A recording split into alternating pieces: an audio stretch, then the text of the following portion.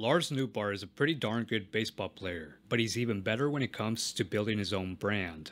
His pepper grind celebration took Japan by storm during the World Baseball Classic. One day while in Japan, Noot spent more than a half hour walking to the 7-Eleven across the street because of all the fans swarming him. And right before the WBC, Noot had about 60,000 Instagram followers. At the time of making this video, he's now got 1 million Instagram followers. According to Seiya Suzuki, Lars Nootbaar is the most popular player in Japan, second only to some dude from Anaheim. Noot has filed trademarks for his own energy bar. He starred in a few Japanese commercials, including one with his mom. In fact, Noot's agent believes the endorsements this season might net him seven figures. If this happens, Lars Nootbaar will make more money from endorsements in 2023 than he will playing baseball for the St. Louis Cardinals. That's how you grow the game, not by blacking out your local fan base.